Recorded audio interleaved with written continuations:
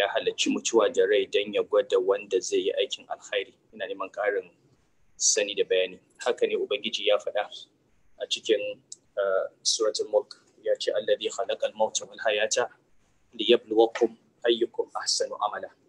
Shine halicci mutuwa da rayuwa don ya jarrabe ku.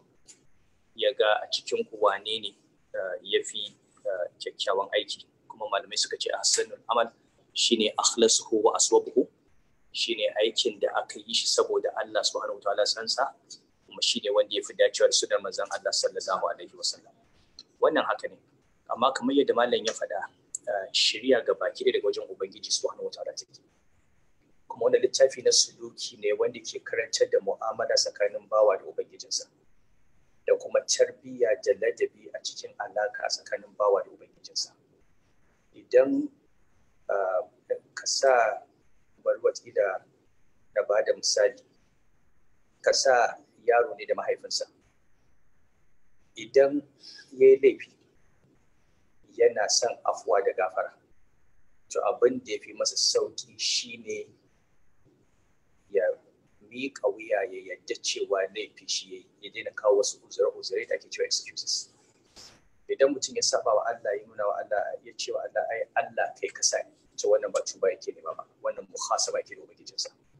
Amma in ya kabi laifi sai ya samu gafar ubangiji subhanahu wataala to haka idan ka je ka yi aiki kuma kai ka san aikin nan da kake da kai bai ma kai ka danka shi ga ubangiji subhanahu wataala ba. Saboda yadda Allah ya ce girman Allah da ɗaukakarsa da ni'imarsa ta wuce a ce wannan aikin ya zama shi ka kai ya karɓa to hanyar samun karbarsa ka nuna masa cewa wannan aikin nan da kai ma ka yadda cewa ni'imarsa ta shi yake zuwa ga wannan aiki kuma shi zai saka maka kai.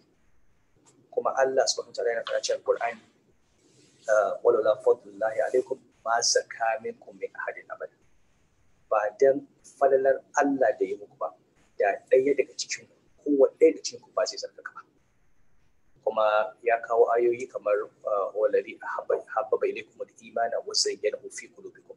Shine ya sanya imani ya soyanta muku imani a cikin zuciyarku kuma ya ƙawata shi. Shi ya sa kuke son imani kuma ya sa ya ƙawata shi a zukatanku. Wa karraha alaikum al-kufr wal fusuq wal isyan ya sa kuke kin kafirci da fasikanci da saban Allah. Kuma kamar yadda ake cewa bari alhamdulillah alladhi hadana li hada wa ma kunna linahtadiya laula an hadana Allah. Mun gode wa Allah wanda ya shirye mu zuwa wannan wanda kuma ba mu kasance masu shiryuwa zuwa gare shi ba ba dan Allah ya shirye mu.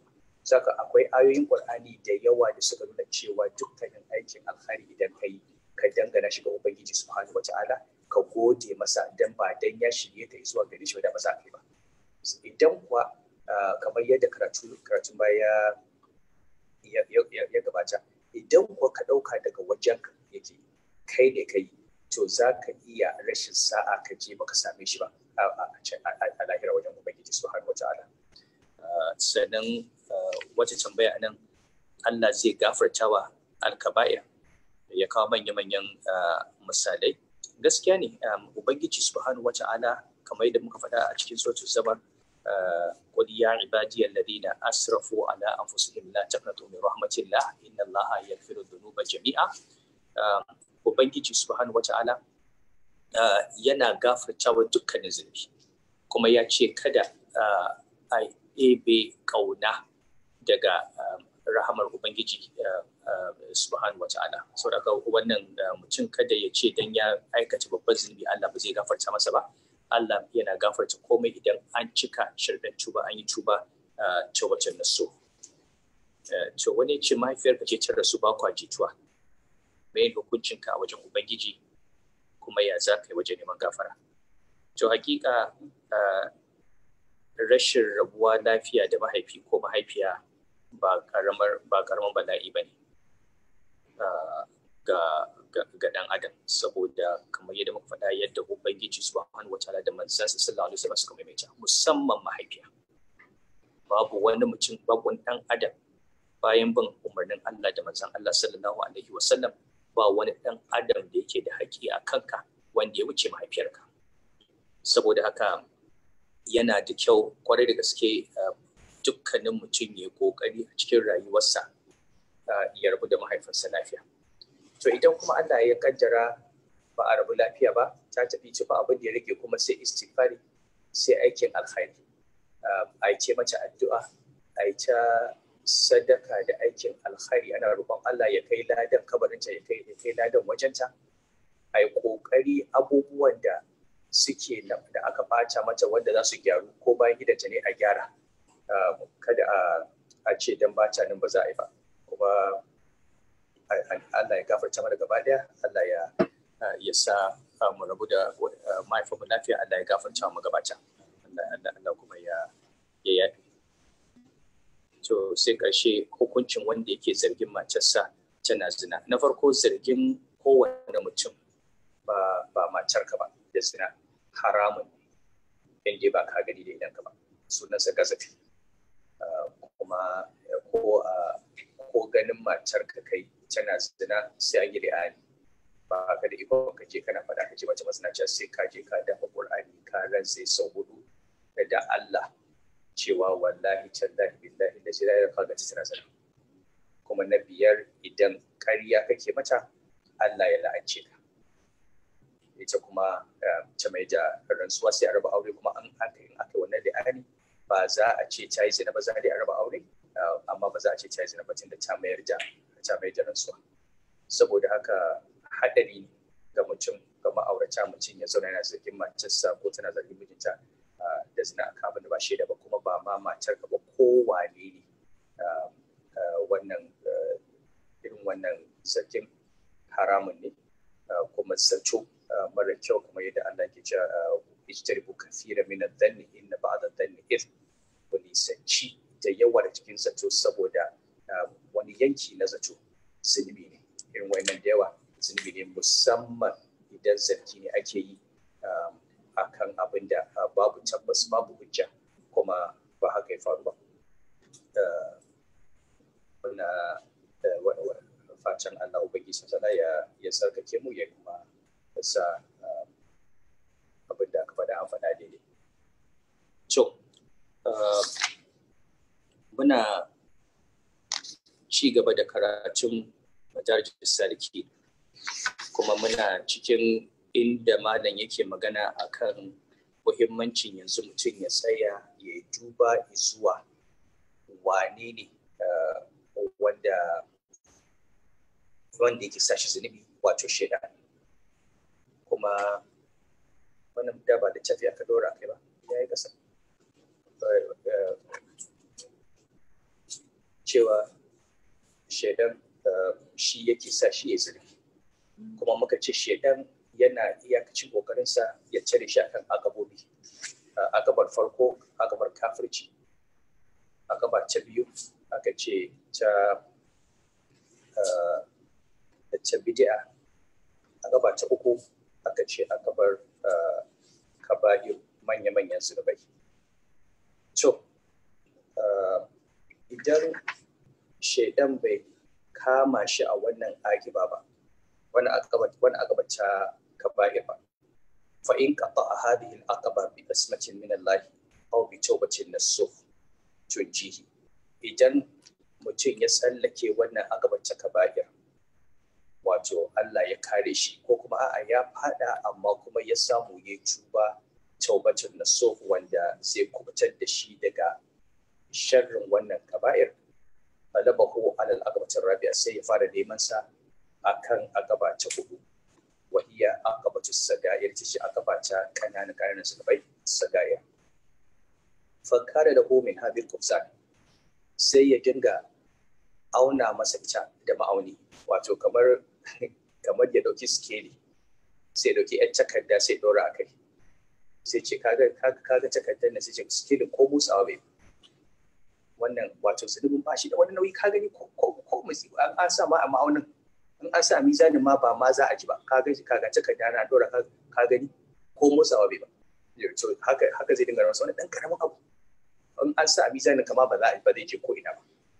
To wa qala ma alayka idan ta naftar kaba'ira ma gashi ta da idan dai har ka ka guji manyan zunubi ba ka caca ba ka shan giya ba ka zina ba ka sata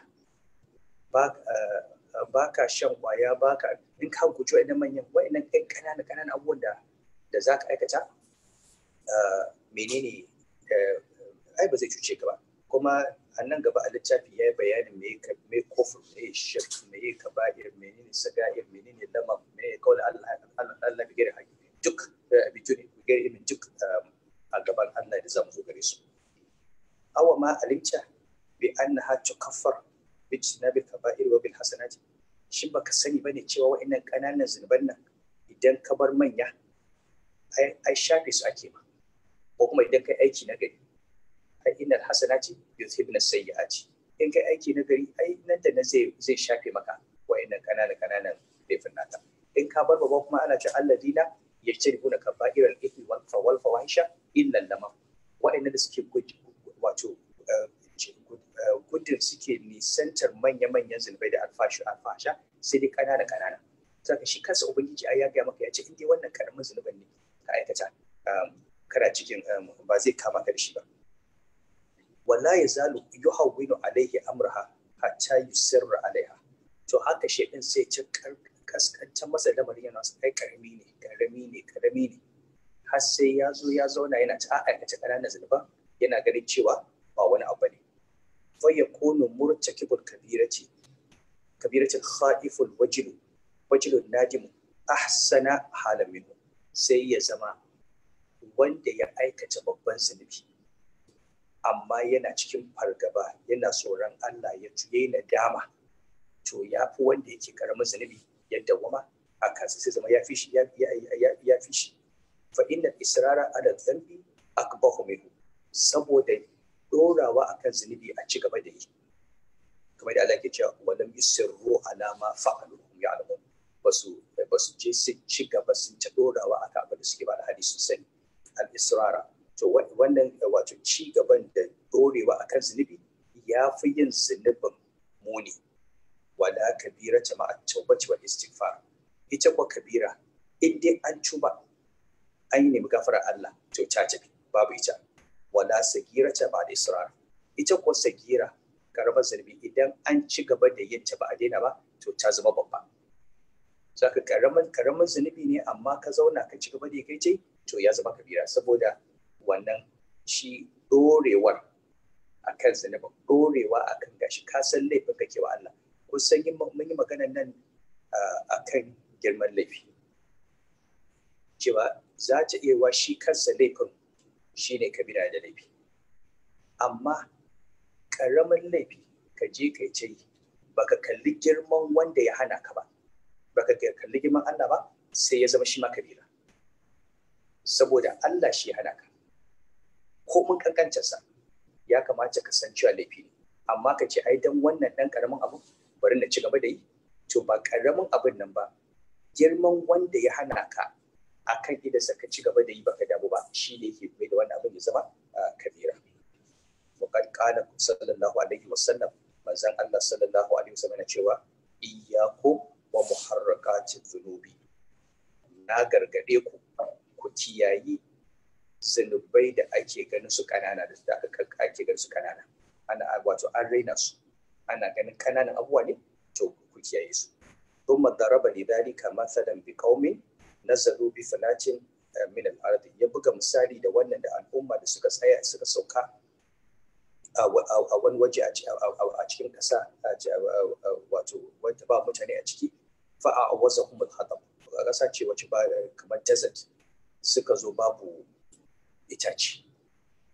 Ka san ana cikin desert da daddare ana ana jin zafi ana so a kunna wuta a jidimi ko a kunna wuta a ci abinci suka zo babu babu itace. Faja'ala ya ji wa hada bi ojin wa hada bi oji kenan sai su je suna tafiya dan abin da aka dan samu wannan ya samu dan makamashi wannan ya samu dan makamashi dan ɓangare ta shaka za a zo wannan ya ɗauko wannan kan ɗauko dan har sai a suka zo suka dinga tarawa hatta jama'o hataban kasira har sai suka tara wannan abin ya zama kamar itace mai yawa. Fa auqaduna fa qaduna da suka kunna masa wuta kuma wutar ta ci. Dan kadan wannan dan kadan wannan dan kadan makamashi da makamashi dan ita dan ƙaramin itace nan aka ya zo ya taru sai ya zama za a iya kura wuce da shi. Faka zalika sha'anu muhaqqaratil dhunubi. To haka al'amuran ƙananan zunubai waɗanda aka gani ake aka raina. Tajtami'u tujtaba'u alal abdi. Ana tattara ta ne akan bawa. Wa yastahinu bi sha'aniha shi ko yana ta ganin ta ƙananan abu karamar abu ya raina ya raina sha'aninta yana gani ba wani abu ne hatta tuhulika har sai ta halaka shi. Halaka shi. Yanzu wannan takardar da shaidan ya nuna ya dora maka akan mizani ba ga nauyin ta ba. Shin littafi menene? Ba takardu ba ne. Ai takardu ce takarda ɗaya takarda biyu takarda uku takarda huɗu har a zo 100 pages 200 pages sai ka ɗauki littafi sai ka ga yayi nauyi. Akwai littafin da in ka tashi ka ɗauka sai ka ji bayan ka ya ci kuma duk takardar ce. To haka in ka ɗauki ƙaramin zunubi kana ta ɗauka kana ɗauka kana ɗauka to wannan ƙaramin zunubin da kake ɗauka haka zai zama babban nauyi a kanka. Shi yasa idan shedan bai sa ka kai babban zunubi ba sai ya biyo ta kan ƙananan zunubai ta wannan hanyar zai kai ka aikata abin da ya fi kabiran mashari saboda shi wanda babban zunubi yana ganin cewa ya yi laifi ana zaton zai ji tsoro zai koma ya tuba. In ya tuba shikenan. Shedan ya shiga bakin ciki. Ya tuba Allah ya yafe masa. Amma kai da wanda ke ƙaramin zunubi bai ma ya ma ɗauka cewa wannan ba wani abu ne saboda ya fada cikin kabirar wacce bai fita daga ciki ba. Shedan yana farin ciki da wannan. Fa inna jamin hadhihi al-aqaba bi taharusi wa tahaffuzi idan ya kubuce daga wannan akabar saboda wato yayi tsantsani tsantsani kuma ya kiyaye. Wadda ba mu tawbati wal istighfar ya dawama akan kullun yana tuba yana istighfari. Wa itba sayyi'atil hasana. Yana in yi aiki mummuna yana bin sa da kyakkyawa kamar yadda Allah yake ce ga bi manzo Allah yake cewa wa atbi wa atbi wa atbi sayyi'atil hasanata tabuha ku bi idan kun yi aiki mara kyau ku bi shi da aiki mai kyau aiki mai kyau yana shafe shi. To mutum ya zama ya daga wannan talabahu alal aqabatil khamisa sai shaidan ya bi shi ya je ya neme shi akan obstacle na biyar. Wa hiya aqabatul mubahati.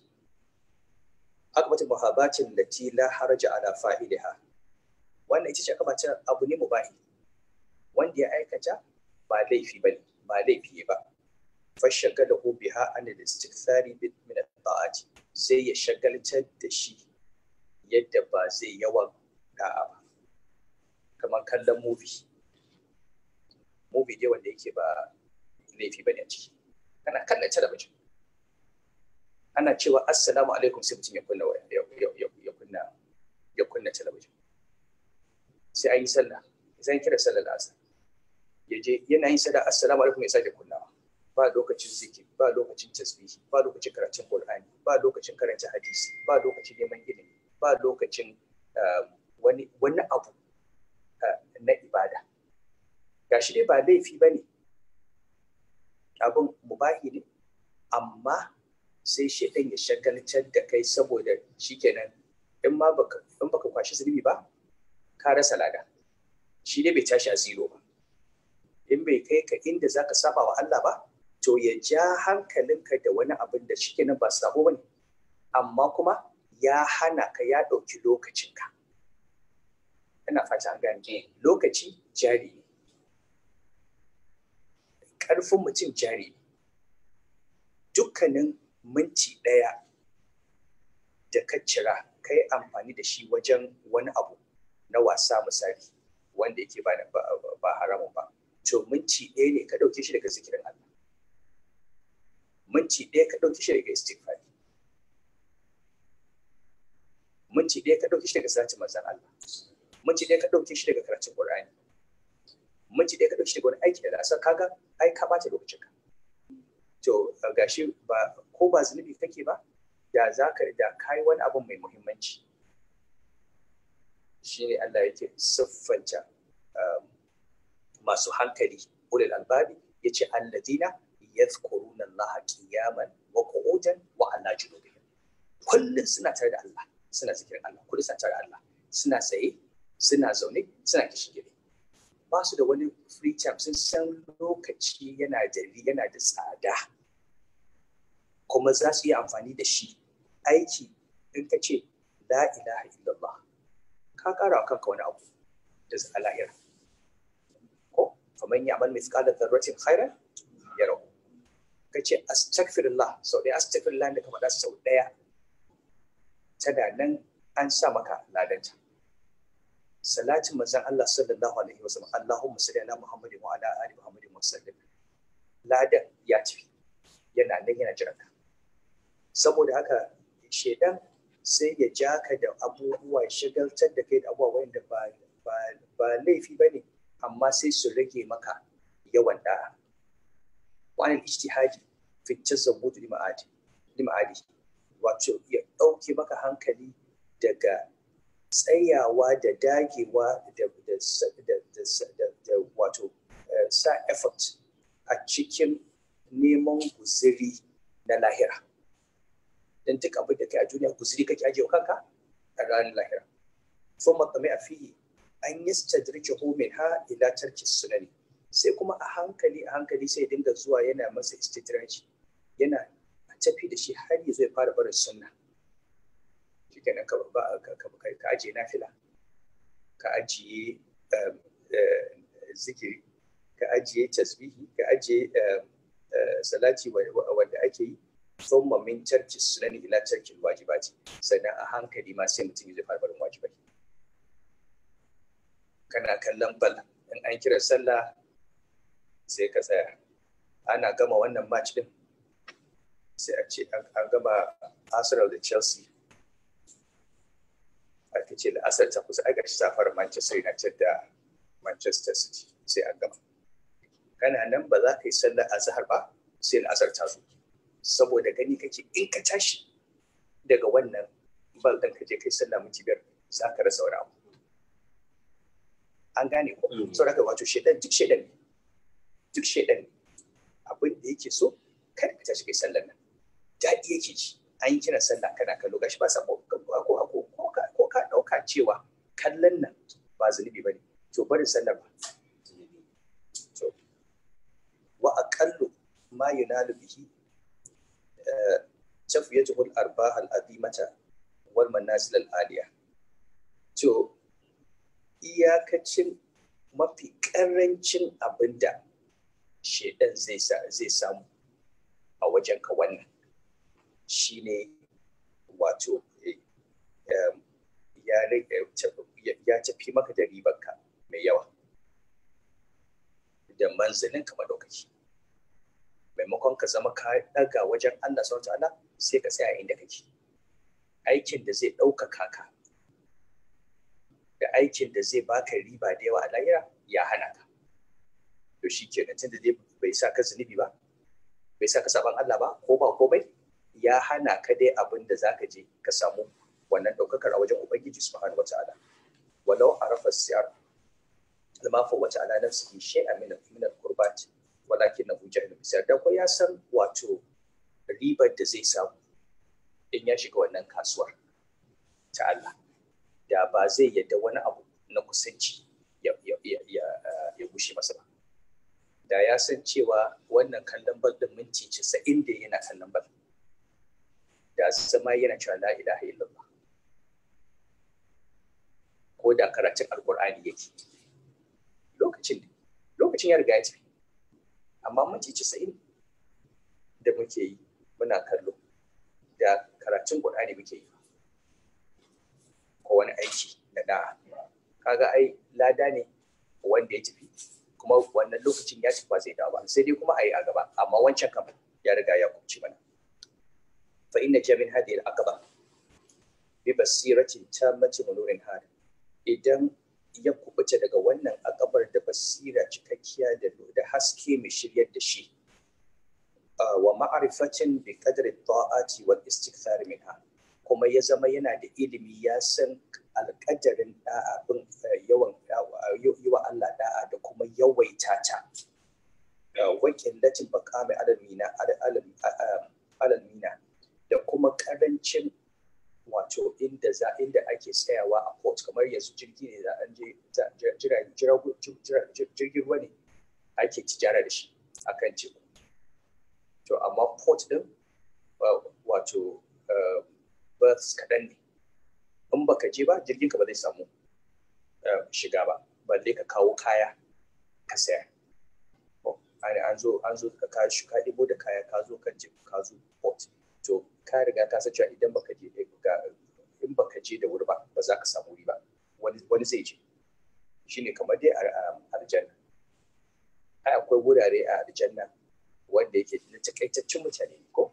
An ce an ce makali game da al'akhiri to in ka san wannan ai abin da za ka yi ce tsere kake kana da gengeniya don saboda ka samu wannan wannan abin. To wa hatsar tijara kuma ka san haɗin wato muhimmancin wannan tijarar taka. Wa karbin mushtari ka san kuma karamcin wanda zai saya.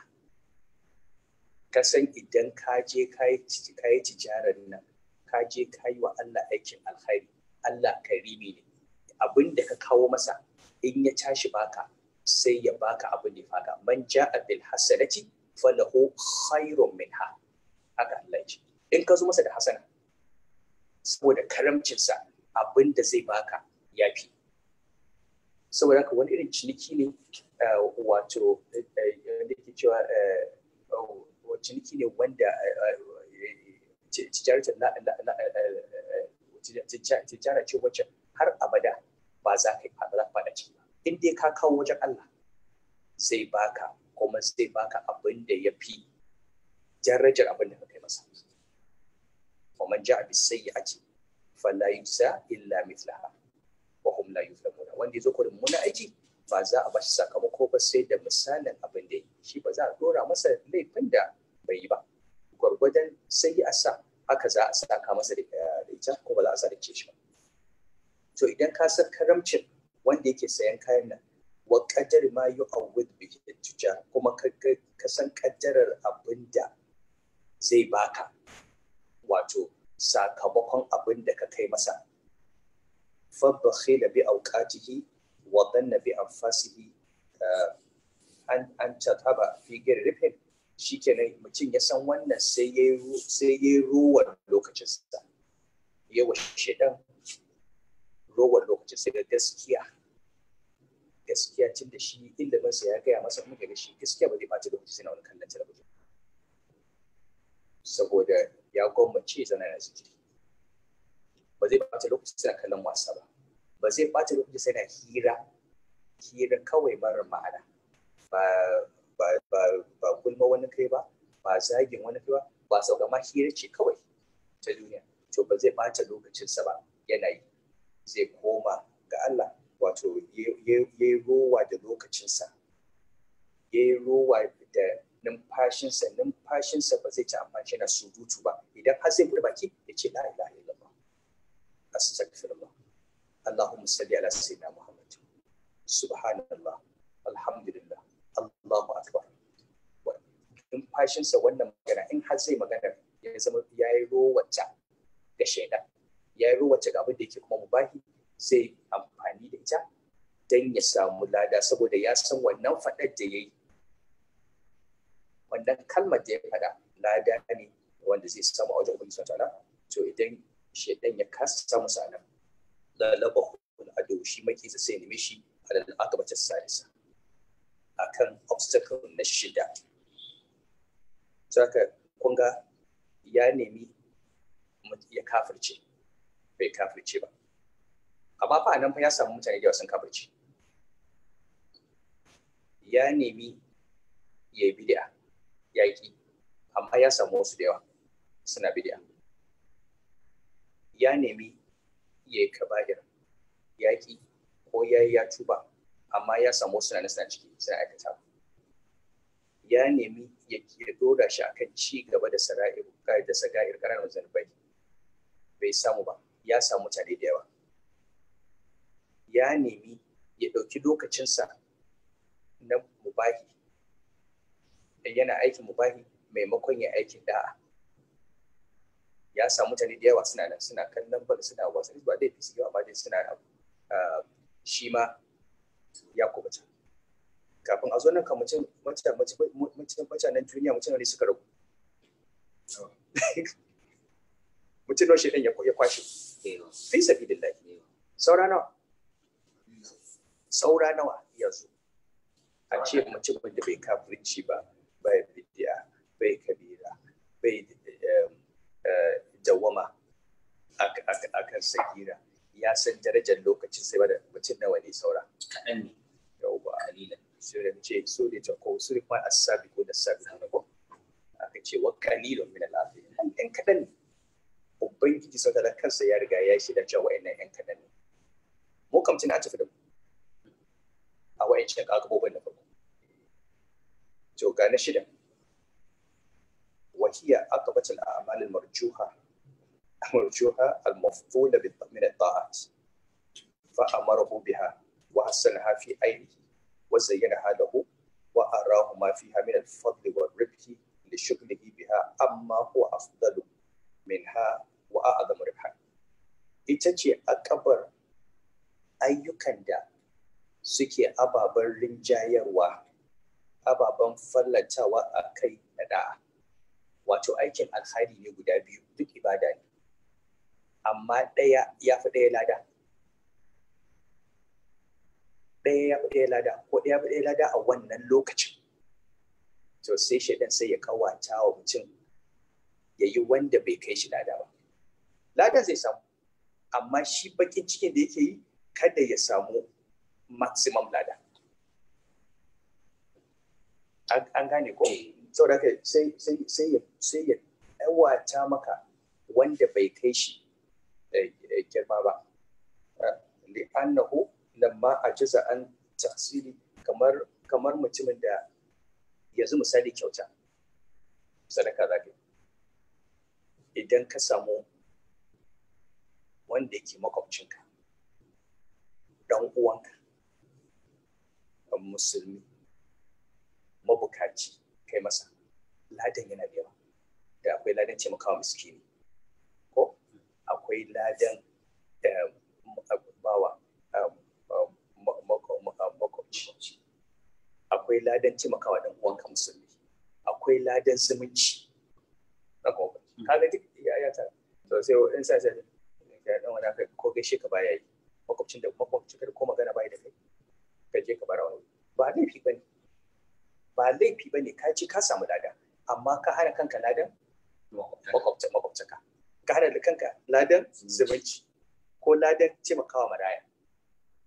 Ina ina fata. Kuma kuɗin nan kyautar nan ba kuɗin nan naka is limited. Ba wai kana shi da kuma yana kyau in za in kai wa'annan kai wa'ancan amma shedan sai dinga nuna maka inda yake inda zai rage maka Zaka ka samu cikakken yau ladan. wanda ba za ka samu cikakken ladan ba ba sai sai sai sai ya hana ka to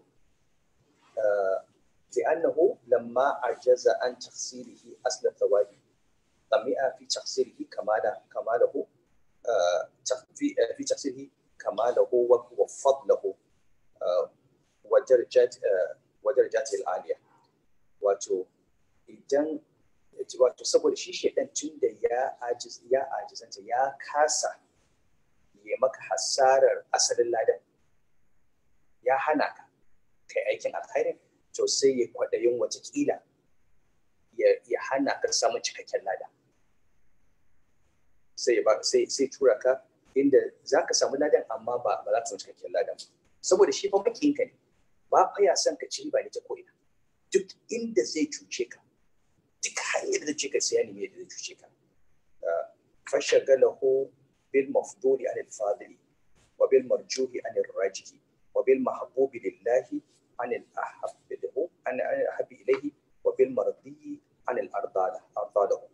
Sai ya shagaltar da shi da abin da yake an fara abin da aka faranta a kansa da abin da yake shine fadil da abin da yake an rinjaye da shi da abin da akan maimakon ya abin da yake shine mai rinjayarwa. Ya je ya yi abin da Allah yake so amma ya bar abin da Allah ya fi so. Ya yi abin da Allah ya da shi ya bar abin da Allah ya fi yarda da shi akan wani walakin aina ashabu hadil akaba to gashi man shi ma malam ya ce ce to ya ce amma ina wanda suke wani akaba ina suke? Ai cina an tafi da mu gaba ɗaya saura mutum nawa ne suka rage a nan ma da shedan zai ga da shedan zai gani. Saura waɗanda suka tsallake wancan suka tsallake wancan suka tsallake wancan suka tsallake wancan. In saura mutum nawa zai gani? Shi kansa ma da ibn kayyim ce fa humul afrad bin afrad fil alam. Yace wallahi wayannan ɗaiɗaiku ne a cikin duniya gaba ɗaya. A duniya gaba ɗaya wayannan ɗaiɗaiku ne. Wal aktharuna qad dafara bihim fil aqabati wal. Yawancin duniya shi ya riga ya gama da mu a cikin a cikin agabobin da suka gabata. Wani cili ya kafirce. Wani cili ya dilme cikin bidiya. Wani ya shiga harkar manya-manyan sabo. Wani ya shiga ƙananan sabo. Wani yana nan yana bata lokacinsa a abin da yake mubayi ba saban yake ba amma ya rage kansa da tuni an riga an gama ya gama da da al'umma. Ya ce fa inna jamin ha bi fiqhin fil a'mali wa maratibiha inda Allah ta'ala. Saboda ita wannan kabar maka ma fitar cikin ta ai kana da wani irin ilimin. Fiqh sai ma ka san menene martabar aikin tuba ko? Sai ka san kafin ka san wani aikin ne ya fi amfani wani aiki ne ya fi lada sai kana da wannan ilimin ma na wanne ne ya fi soyuwa a wajen Allah subhanahu wataala wanne ne ya fi dacewa a yi a wannan lokaci zai fi samu zai fi samu lada. Da sauransu. To in ka fita daga wannan da wannan ilimin na a cikin ayyuka da martabobinsa wajen Allah subhanahu wataala wa manaziliha fil fadli da manzilolinsa a cikin fadala wa ma'arifati makadiriha da sanin kudurinsu. Wacce mizi baina aliha aliha wa safiriha. Da kuma rarrabewa tsakanin wanda yake madaukaki a cikin aiki da wanda yake da yake kasarsa wa mafduliha wa fadiliha da wanda yake da fifiko da wanda aka fifiko a kansa. Wa ra'isiha wa maqusiha da wanda yake shine kan aiki da wanda kuma shine shugaba da wanda kuma yake yana bin shugaba. Wasu sayyidiha ko masuli haka da waye sayyidi shugaba waye wane ne leader waye follower? Fa inna fil a'mali wal aqwali sayyidan wa masuda. Saboda a cikin ayyuka fa akwai leader akwai follower akwai shugaba akwai wanda ake bi. Wa ra'isan marhusan akwai wanda yake shine head akwai wanda yake su ne suke kashin sa.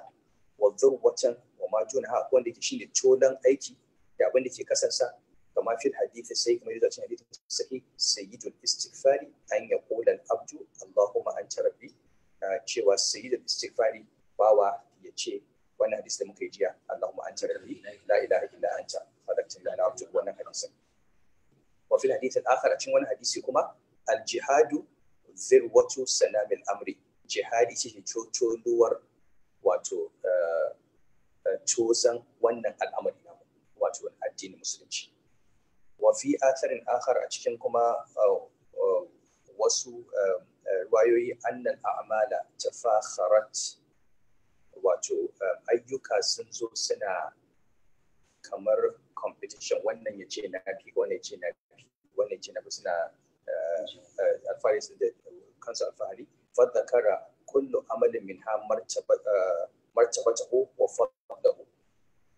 wa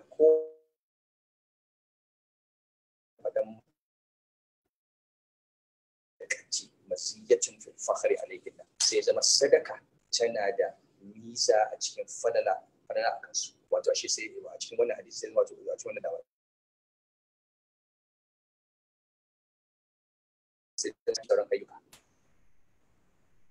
wala yaqtau hadhihi al-aqabata illa ahlu basairi was-sidqi min min ilmi. Babu wanda yake da wato tsallake wannan akabar sai ma'abota basira da gaskiya a cikin ulul ilmi to fa idza naja idan aka samu bawa ma ya kuce daga wani abubuwa guda shi daga baki ɗaya lam yabqa hunaka aqabatun yatlubuhu al-ajubu alaiha siwa wahidatin.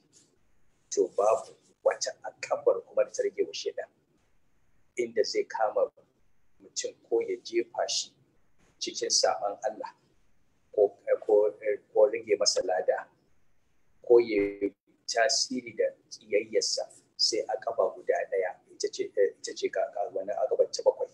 La budda da homina wannan kan babu yadda za a yi wani ya kuma tafi cikin ta. Walau na jamin ha hadu lana jamin ha rasulullahi wa an biya uku lana jamin ha rasulullahi wa an biya uku wa akramul khalqi alayhi. Da a ce wani zai kuma daga wannan a gabar da manzannin Allah da annabawansa da mafi girman halitta a gare shi manzan Allah sallallahu alaihi wasallam da ya kubuta daga wannan akabar wa hiya aqrabatu tasliti jundihi alaihi bi anwa'il adha bil yadi wal lisani wal qalbi wannan akaba ita ce shedan ya sallada rundunoninsa akan bayan Allah da nau'i daban-daban na cutarwa da hannu da harshe da zuciya. A yi musu budala a ɗaure su a kore su daga aiki a cutar da su a yi musu sharri da baki a zage su a gaya musu bakar magana a yi musu izgili kuma a ƙi su a zuci. Duk wanda yake wanda yake rundunar shaidan baya son ya ga mutum ya fita daga tarkon shaidan. Baya kaunarsa. Sai ka ji mutum baya ƙaunar waliyan Allah. Baya ƙaunar bayan Allah. Hassada da kiyayya. Kuma idan da akwai hanya da zai cutar da zai cutar da su. Izgili ne sharri ne cutarwa. To wannan kam ba a fita daga cikinsa. Ala hasabi martabatihi bil khairi to ko gwargwadon martabarka ta alkhairi gwargwadon cutarwa da zaka gaba wannan dole sai ka sai a hakura. Manzon Allah sallallahu alaihi wasallam bai fita ba. Bai fita ba. Rundunar shaidan ba su bar manzon Allah sallallahu alaihi wasallam. Kai wane ne kai? Ba za ka fita ba. Fa kullama alat martabatuhu ajlaba alayhi bi khairihi wa rajlihi duk ko da yaushe martabar dan adam ta daga to shi ko shedan a lokacin zai fara wato koro wa'annan rundunonin nasa da akan dawakai wasu a su kwane ko da kafarsu su taho wa zahara alaihi bi jundihi ya fara kuma neman wato taimako a kansa kenan da rundunoninsa su taimaka wato wajen cutar da shi. Wasallata alaihi hisbahu wa ahlihi bi anwa'i taslim. Ya dinga sallada masa rundunoninsa da ahalinsa da nau'o'i da yawa na salladawa. Wa hadhihi al-aqabatu la hilata lahu fi takhallus minha. Wannan aqaba gaskiya ba shi da wata hanyar da zai kubuta daga cikin ta fa innahu kullama jadda fil istiqamati wa da'wati ila Allah ta'ala wal qiyam bi amrihi jadda al-adu fi igra'i sufa'ihi. Duk sanda mutum ya tsaya ya dage ya kyautata a cikin tsayawa akan hanyar Allah da kuma kira izuwa Ubangiji ta'ala da tsayawa da abin da Allah ya umarta a yi a cikin kowane hali. In ka tsaya akan abin da kai iyakacin fahimtar ka wannan shi ne abin da Allah yake so a yi musamman idan ka gamu da mutanen da su abin da suke so ba abin da Allah yake so yake so ba. Ko a rayuwa ko ina haka haka ciki. Ka ga abin da Allah yake so ka tsaya a kai shi kuma wani ba haka yake so ba. To idan ka ce kai za ka tsaya akan abin da Allah yake so to kana dagewa to me yake faruwa? Sai ya ce sai su shaidan da rundunarsa su kuma sai su da makiya sai su dage a wajen garo maka wawaye. Wawaye fa huwa fi hadhihi al-aqaba qad labisa la'amatal harb. To kana ci wannan wannan aqaba kuwa? To ka zo kuma ka shafi ka dandana yaki wannan kuma ka saka silken yaki. Wa akhadha fi muharabati al-adu lillahi billahi. Saboda yanzu yaki ake kasa silke sai ka shi fara yakar mai makiyin Allah. Da taimakon Allah subhanahu wa ta'ala.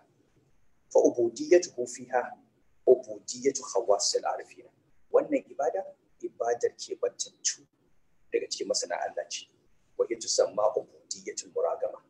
Ana ce mata ibadar turmuza hanci turmuza hanci.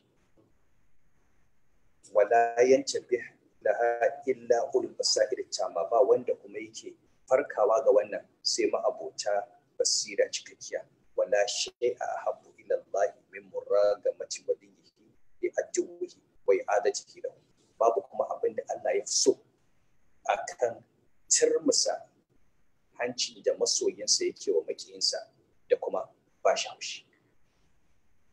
Wannan ana so a fahimta a duba tsakanin mutum da mutum. Mutumin da baya son ka baya son ya ganka tare da alhari ko kada ko? Baya son ka. So yake kullum ya ganka a cikin wahala. To idan bai ga wannan ba bakin ciki yake idan baya son ganka ka samu mukami in ka samu bakin ciki in kuɗi ne baya son ka samu in ka samu bakin ciki ba abin da kai masa ba. Amma shi bakin ciki to idan ka san mutum baya son ka samu idan ka idan kai masa ka nuna masa ka ko yana so ka kuka ko ka nuna ajizanci kai kuma ka nuna baka baka yi ba bakin ciki shi kuma. Bakin ciki bakin ciki yake to shedan so yake ga kasa Allah. Hanyar yakan shedan shine kai ta bin Allah. Wannan abin shine turmusa hancinsa da sa shi bakin ciki da bata masa rai. Makiyinka ne. So kada ka ji tausayinsa kada ka ji tausayin shaidan makiyinka ne. Ka turmusa hancinsa a ƙasa ka tirsasa shi. Tirsasa shi din shine ka ba Allah. Kai abin da Allah yake so. Tare da sanin cewa shaidan din yana kallon ka kuma shi kana yi ma dan ma shaidan ya ji haushi. Da Allah yana son ya ga ka turmusa hancin shaidan ka ka wulaƙanta shi. Shine ce wa kad ashara subhanahu wa ta'ala ila hadhihi al-ubudiyyati fi mawadi' fi kitabihi. Ubangiji sun da ya ishara ga wannan ubudiyya a cikin wurare daban-daban. Littafin sa ahaduha qawluhu ɗaya fadarsa wa man yuhajir fi sabilillahi yajid fil ardi muragaman kathiran wasa'a. To yawancin fassara da na gani a wannan aya wanda wanda ya hijira fi sabilillahi zai samu wato waɗansu wurare da zai iya zama masu yalwa. Malamin ya ce muhajira muhajirar da yuhajar fi ila ibadatin lahi muragaman. Ubangiji ya ambaci inda ake zuwa hijira. Ba wanda yake hijira ba. Cewa inda ake zuwa a hijira fi sabilillahi ya ambaci wannan abin da suna muragama. Muragama muragam ai li annahu yuragamu bihi aduwullahi wa aduwuhu saboda wannan wurin ana turmusa wato hancin makiyin Allah da makiyin ka idan ka ai kana wani gari ne an hana ka bauta wa Allah. Sai kai hijira ka tafi wani waje inda za ka bauta wa Allah. To kaga ai a nan ka turmusa hancinsa. Saboda ibada dai da baya so ka yi ka je ka yi. Addini da baya son ka yi da ya ji can ya sa shaidanu rundunoninsa sun hana ka ka bauta wa Allah sai Allah ya fitar da kai kai hijira ka je wani waje sai ka je kana yi. Kaga ai bakin ciki da wato ya same shi. An ci musu hancinsa. In ya isa ya hana ka. Mai matsala sai sama yana maka da sabon sai aka yi musu. Aka matsanta musu ko? Sai suka tafi madina. Suka je madina aka karɓe su aka gina masallaci aka yi kiran sallah. Mutane suka karɓe su suka suka shiga addinin musulunci. Aka bauta wa Allah. To ai kaga iblis da rundunarsa a wani wurin bakin ciki suke. Bakin ciki. Zaka idan an hana ka a wani inna ardallahi wasi'a. Kasar Allah ta jalwa idan mutum ya isa ya biyo ka can ya hana. Saka wannan kaga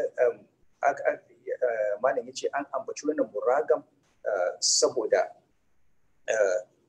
ya ana tirsasa hancin makiyin Allah da makiyinsa.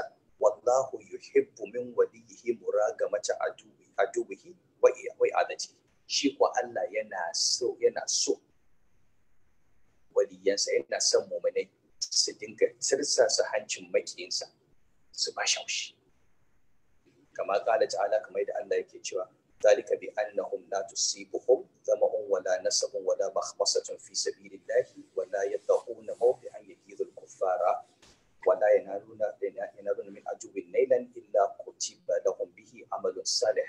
Inna Allah la yudhi'u ajran muhsinin wannan dan saboda eh, su dai kan muminai da suke fita eh, wajen yaki wata kishirwa ko yunwa eh, ko gajiya ba za ta same su ba fi sabilillahi. Kuma sai ce wala ya na mawdi an ya gizon kufara ba za su taka wani mataki ba inda suke inda suke wato ba wa kafirai haushi. Wannan shi ne mahallin shahid. Cewa wani abin duk wani abin da mumini yayi wanda zai ba wa kafirai haushi shine ce illa kutiba lahum bihi amalun salih sai an rubuta musu aiki na gari da shi wa qala ta'ala fi مثل رسول الله صلى الله عليه وسلم واتباعه في مثل رسول الله صلى الله عليه وسلم واتباعه ubangiji ya faɗa a cikin misalin da ya bayar na manzon Allah sallallahu alaihi wasallam da mabiyansa wa mathaluhum fil injili كزرع أخرج شطأه فآزره فاستغلظ فاستوى على سوقه يعجب يعجب الزراع ليغيظ بهم الكفار mahallu shahid li yaqila bihimul kuffar dan saboda kafirai su haushi. Ashe ubangiji subhanahu ta'ala yana son ayi yi wa'annan abubuwa to in in dai mutum bakin Allah ne to Allah yana son kai masoyinsa kai abubuwa na nagarta da da'a da bin Allah yadda zaka ci ji cuskuna masa bakin ciki. Saboda su abin da suke nema su kashe hasken Allah. Yuriduna an yutfi nuran lahi bi afwahi. Wa ya Allahu illa an yutimma so suke su kashe su dissar da hasken Allah da bakin su shi kuma Allah subhanahu wa ta'ala su yake ya cika wannan wannan wannan hasken nasa. Wa shar'a annabi sallallahu alaihi wa sallam musalli idza sa'a fi salatihi sajdatayn manzon Allah sallallahu alaihi wa sallam ya shar'anta wa wanda yake yin sallah idan ya samu rakkanwa. Ya yi guda biyu ko? Kana ya ce in kanat salatu tammatan kana ta tarhiman da shaytani idan sallar ta kasance cikakkiya to wannan ta kasance turmusa hanci ga shaidan. Ya ce kuma ya kira su mulki mace ne wato masu turmusa hanci. Shi shaidan yana ganin cewa ya sa ka kai wani abu sallar ka bata cika ba. Ya ce yana murna. Sai ka zo ka yi sujada guda biyu sallar ka ta cika. Baya so. Faman ci abada faman ta'abbada lillahi bi muragamati adubihi faqad akhadha min as-siddiqati bi sa'min wafir. Wanda ya bauta wa Allah ta hanyar turmusa hancin makiyinsa. Lallai ya karɓi wani rabo mai girma a cikin a cikin siddiqa kasancewarsa cikin siddiqo na cikin masu da masu gaskiya. Wa ala qadar muhabbatin abdi li rabbih wa mawalatihi wa mu'adati adubihi yakunu nasibuhu min hadhihi al-maragama kuma wato gwargwadon san da bawa yake ubangijinsa. Da kuma wato tsayawa akan lamarin ubangijinsa da yaƙar makiyin ubangijinsa yake samun rabo na wannan ta musaci in ka dage kana bauta wa Allah ka dage kana aikin Allah ka ji da ka dage kana yakar aikin shedan to ka shiga fagen yaƙi ne. Dama makiyin ka ne shi ya kar ka yake. Zaka in ka zauna kawai galaba zai akan ka ka sa sirke kawai ka ɗauki makami ka yaki shedan tunda yakar ka yake shi ne kariya. To wannan yakar da kake masa da cin masa hancinsa da kake yi duk inda ya bullo maka ka ka da shi to shi kuma ubangiji yana so. Wa li ajli hadhihi al muragama humidat tabakhtur uh, humidat tabakhtur bayna safain kuma saboda wannan muragama saboda wannan tursasa hancin shaidan a ƙasa aka yabawa alfahari da takama a cikin saho lokacin jihadi. In an zo yaki kada a fito ana wani ba laka a jikin mutum. A fito da ƙarfi a fito da takama a fito da isa. Duk sanda mutum ya fito cikin makiyansa ya fito da kasaitarsa da isarsa su yi shi sai ba ita kwarjininsa to bakin ciki suke. Sun fito su ganka a kare. Su ganka a lalace. To kada ka yadda. To haka in an zo jihadi kada ka yadda shi kada ku yadda shi dan ya ganku a cikin wani hali ba halin takama ba. Mun zo yaƙi muka zo kuma mun san cikin biyu ne. Ko dai mai nasara ko mai shahada kuma domin yadda. Babu tsoro. In Allah ya yau za mu tafi mu tafi wajen ubangiji in kuma ba yau ba ne Allah ya ba mu nasara. Wal hatta rabbusuna bina illa ihjal husnayn to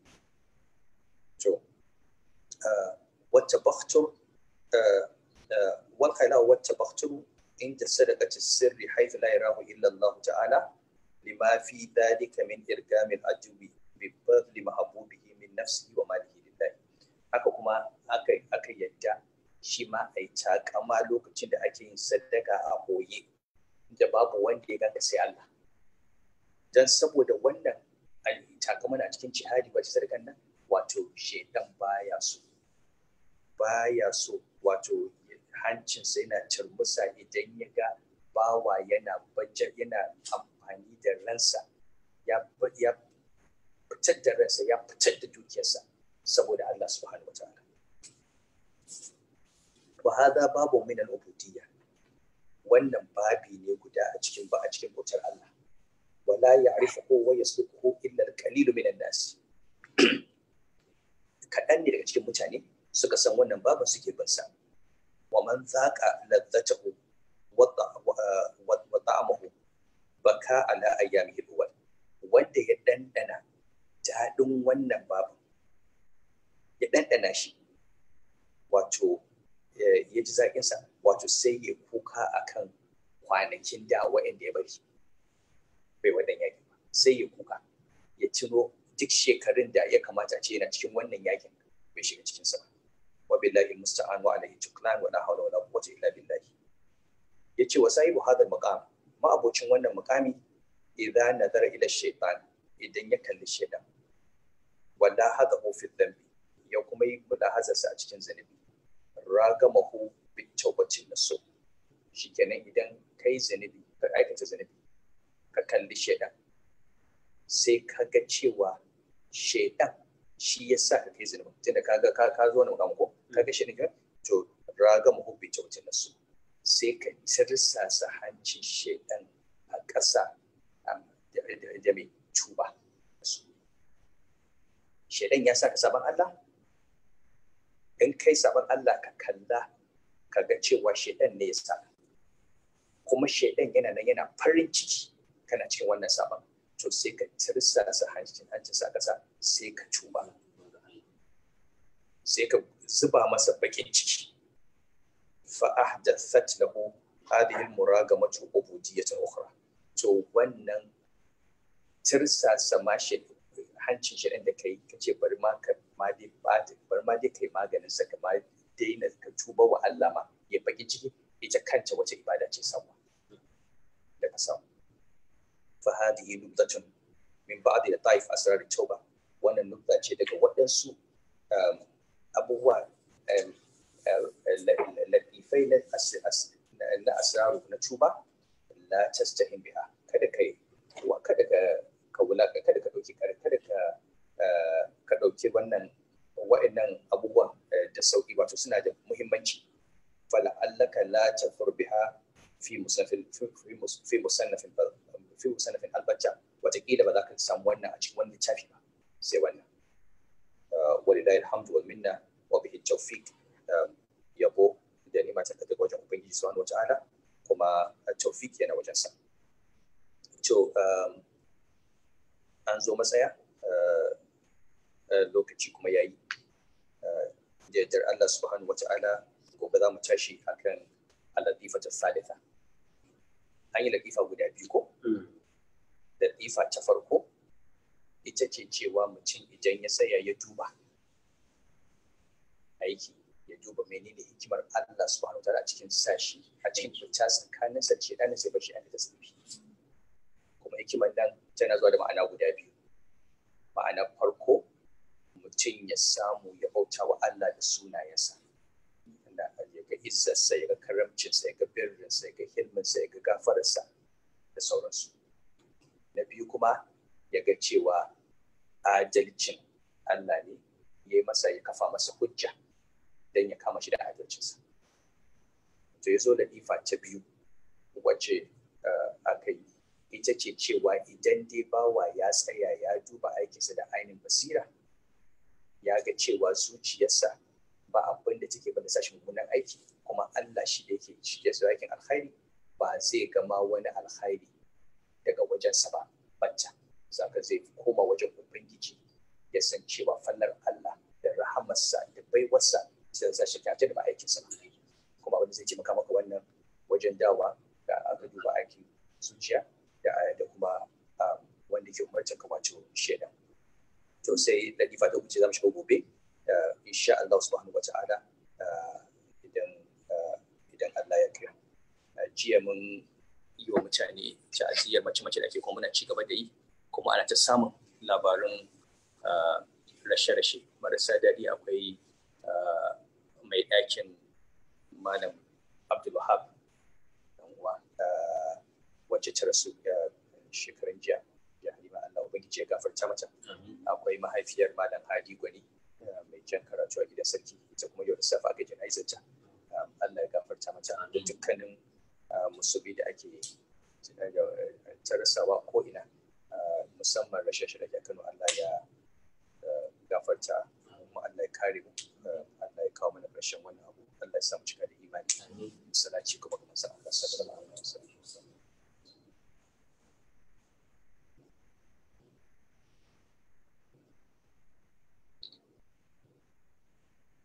karanci fatiha بسم الله الرحمن الرحيم الحمد لله رب العالمين الرحمن الرحيم مالك يوم الدين اياك نعبد واياك نستعين اهدنا الصراط المستقيم صراط الذين انعمت عليهم Thank